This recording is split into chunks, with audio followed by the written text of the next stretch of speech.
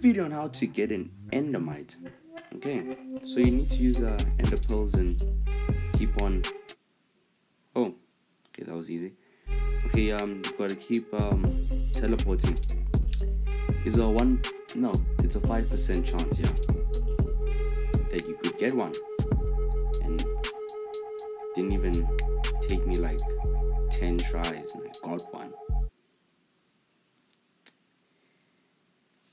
Anyway, endermites, they're like um what are these? Those silver mites thing. Yeah. Silver fish. Yeah. But just purple. And they look a little bit funny. Oh yeah, they will attack you in survival.